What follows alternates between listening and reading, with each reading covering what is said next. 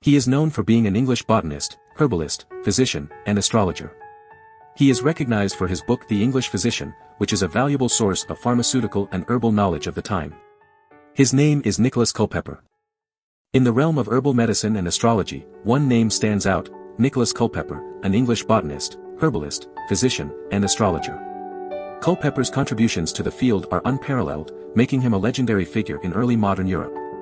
His book, The English Physician, became a vital source of pharmaceutical and herbal knowledge during his time. It catalogued hundreds of outdoor medicinal herbs, providing valuable insights into their uses and benefits. Culpeper's dedication to his craft led him to challenge the methods used by his contemporaries, seeking a more effective approach to herbal medicine. In his own words, Culpeper described his journey, this not being pleasing, and less profitable to me, I consulted with my two brothers, Dr. Reason and Dr. Experience, and took a voyage to visit my mother nature, by whose advice, together with the help of Dr. Diligence, I at last obtained my desire. With the guidance of these metaphorical figures and the wisdom of nature itself, Culpeper achieved his goal of gathering knowledge about medicinal herbs. His commitment to honesty and integrity is evident in his decision to share his findings with the world, as advised by the mysterious Mr. Honesty.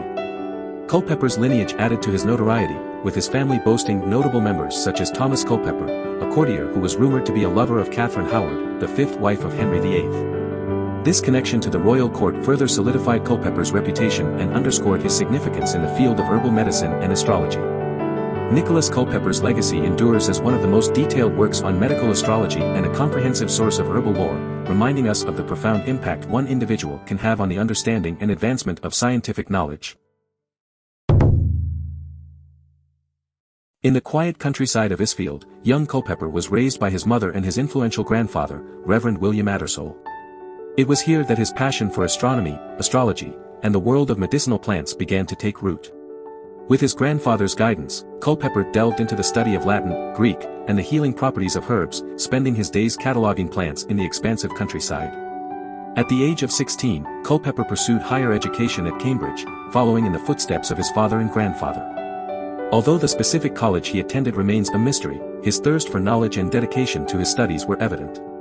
After completing his studies, Culpeper embarked on an apprenticeship with an apothecary, eager to further his understanding of medicinal practices. Life took a difficult turn for Culpeper when his master absconded with the money paid for his indenture, leaving him in a state of uncertainty. Tragedy struck once again as his mother succumbed to breast cancer. Determined to rise above these hardships, Culpeper found love and stability in his marriage to Alice Field, a young heiress. This union provided him with the means to establish a pharmacy in Spitalfields, London, where he could freely practice his craft without the constraints of the City of London's authority. Culpeper's approach to medicine was revolutionary for his time. Rejecting the notion that healthcare should be a privilege reserved for the wealthy, he believed that no one should starve to pay an insolent physician. Instead, he relied on his extensive knowledge of herbs and a willingness to personally examine his patients to provide his services free of charge.